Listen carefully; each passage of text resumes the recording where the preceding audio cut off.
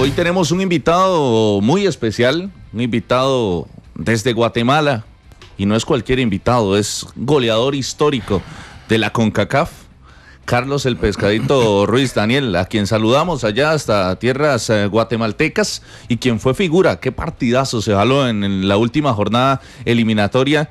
Y, y, qué despedida para Carlos Ruiz, ¿no? Sí, un 15 de septiembre de 1979 en Ciudad de Guatemala nace Carlos Humberto Ruiz Gutiérrez. Vaya nombre, vaya figura a nivel histórico en Centroamérica. Carlos, muchas gracias por atendernos en 120 minutos y primero, aquí estamos celebrando el Día del Niño. ¿Qué, recuerdos tiene de su infancia? Carlos, saludos desde San José, Costa Rica. Hola, ¿qué tal a todos? Les agradezco mucho la oportunidad. Les mando un saludo y un abrazo fuerte desde Guatemala.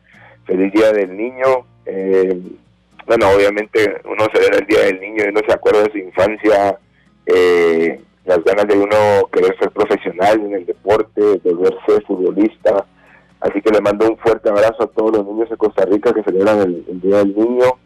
Y bueno, agradecerles a ustedes la oportunidad de poder hablar eh, con toda la gente de Costa Rica, nuestros, hermanos centroamericanos.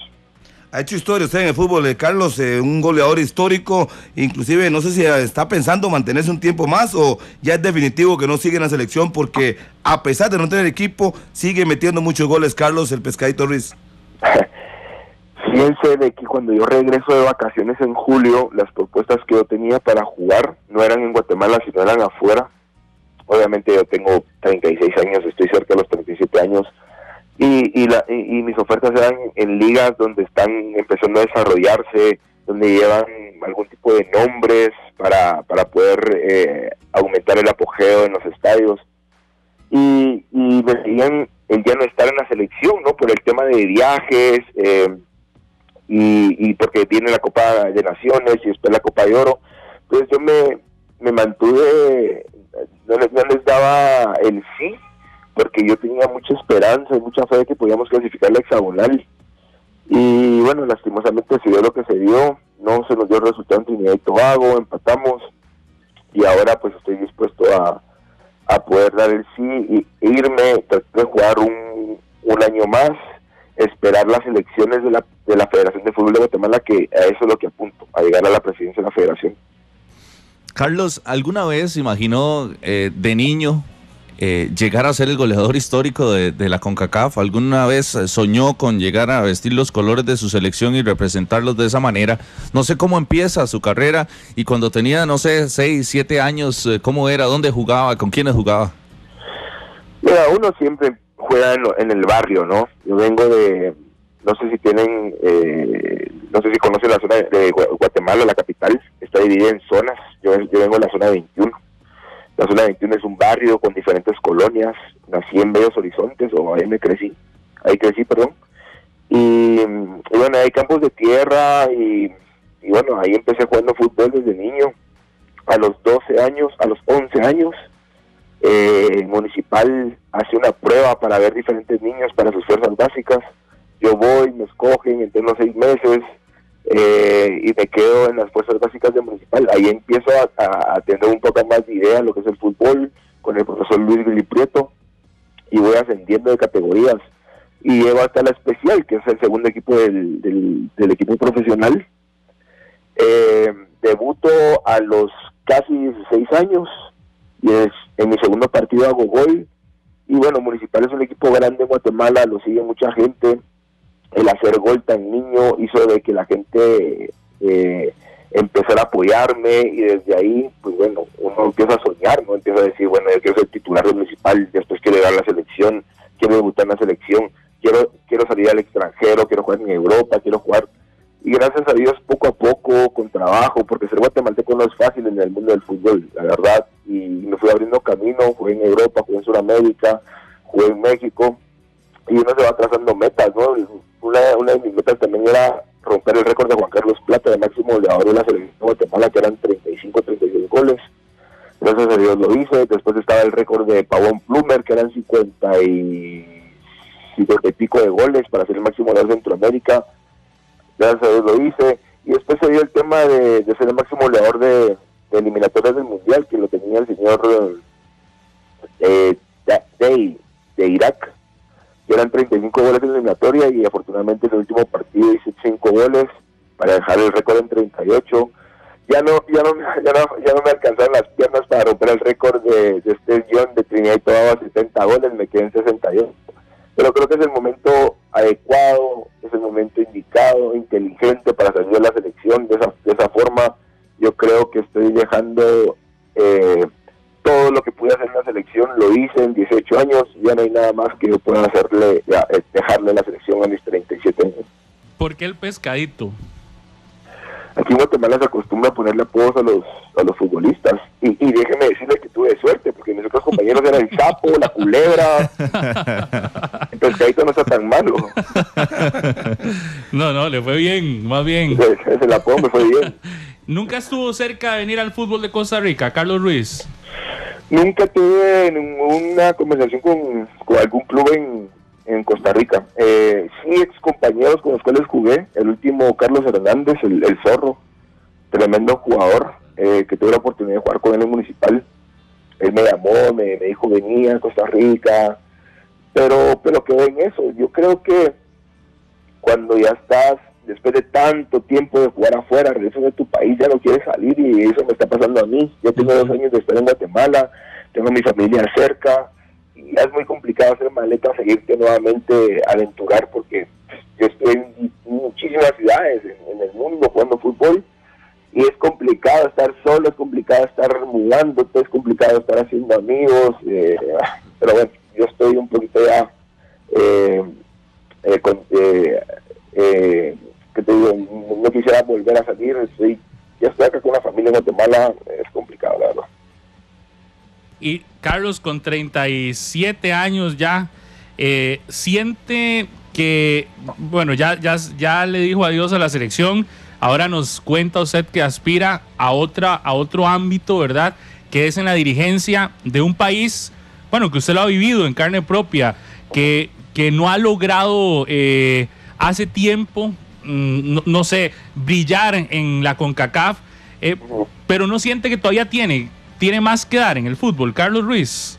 Mira, yo se lo manifesté a mis compañeros al cuerpo técnico de la selección. Yo creo que es un momento indicado para poder seguir apoyándolos desde afuera de la cancha, porque según se sabía, eh, las elecciones iban a ser este mes de septiembre. Y por algún tipo de atraso vino, vino el presidente de CONCACAF y al parecer el, comité normalizador que tenemos ahora en la federación ha pedido la extensión de un año más. Entonces, yo dije, bueno, si firmo con un club, se me va a complicar con el tema de las elecciones. Prefiero entrenar fuerte solamente con la selección, jugar los dos partidos de eliminatoria y después pelear por llegar a la federación. Tal vez, dice la gente, no, todavía tiene, acaba de hacer goles, pero yo creo que es el momento adecuado de, salir de la selección de Guatemala. Yo creo que eh, podría con mis ideas, rodeándome obviamente con gente capaz, llegar a la federación. Eh, nunca ha llegado un, un, futbolista jubilado a la selección de, a la Federación de Guatemala.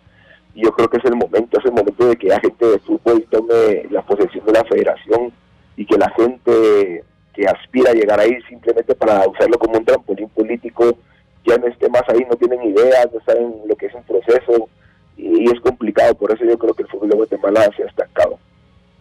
Uno pensaría desde fuera, Carlos, que no hay un jugador guatemalteco o exjugador con, con las características y con la credibilidad que Carlos Ruiz. Entonces pensaría uno que no tendría problema de llegar a la Federación Guatemalteca por apoyo de afición y por apoyo de la gente que, que le gusta y que, y que ama el fútbol. No, no sé, ahorita estamos haciendo memoria y no recordamos otro guatemalteco como Carlos Ruiz, quizás.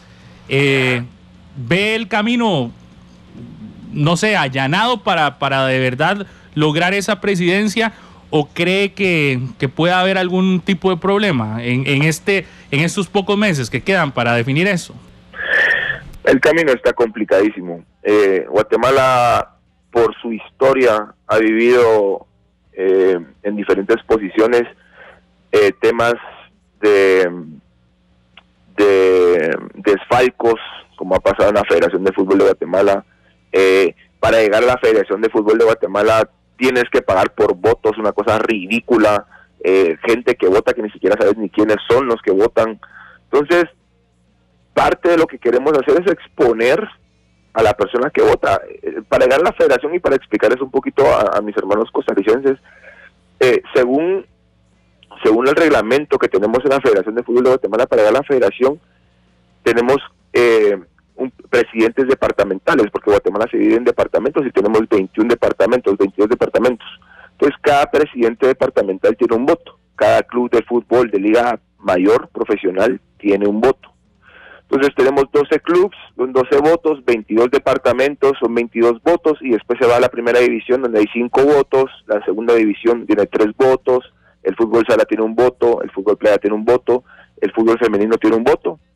Y entonces, cuando sabes que así es el, el, padrón electoral o, las votaciones, te vas directamente con la gente de los departamentos y los sobornás y con 22 votos estás en la federación y así ha sido por años.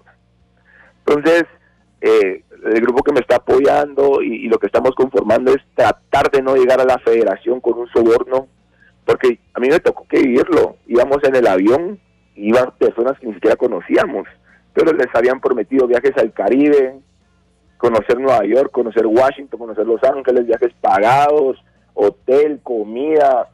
Entonces, ese es el costo de un voto y llegar a la federación para que alguien me diga, vos me dijiste a mí que me, me prometiste van al Caribe o me pagaste. No, así no va a llegar la federación. Voy a llegar con un plan deportivo estructurado y, y si me entienden, qué bueno. Pero así es como queremos llegar a la federación.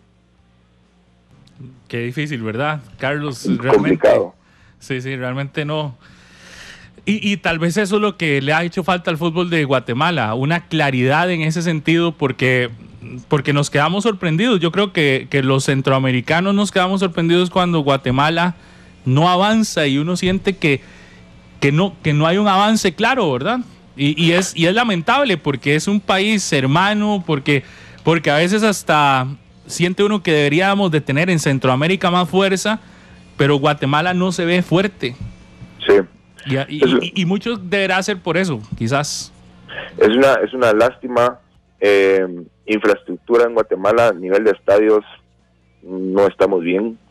Eh, yo fui presidente de la Asociación de Futbolistas y se, se ve cualquier cosa, la verdad, los equipos te pagan cada cuatro meses, eh, los jugadores tienen miedo de denunciarlo, no dicen nada, juegan con las necesidades del futbolista, es una vergüenza. Eh, nosotros expusimos a muchos dirigentes deportivos, incluso yo, yo me he ganado más enemigos que amigos desde que regresé a Guatemala, pero es que yo no puedo dejar, dejar pasar ese tipo de cosas, yo no puedo que, un compañero me diga, mira, fíjate que tengo cuatro meses sin cobrar y me están amenazando, me quieren dejar sin contrato, o sea, yo no puedo dejar todo eso pasar, lo dice público, eh, como repito, me he ganado de enemigos, pero creo que estoy haciendo lo correcto, pero obviamente a nuestros afiliados a la Asociación de Futbolistas les exigimos también que sean profesionales, porque muchas veces no es tanto el, el, problema del club, sino del, del futbolista. Eh, hemos crecido como asociación, queremos que la Asociación de Futbolistas eh, sea reconocida por la Federación de Fútbol de Guatemala, eh, que es algo en contra de los clubes, que no entiendo por qué los clubes lo ven como, ven como enemigo a la asociación. Si son responsables no van a tener ningún tipo de problema.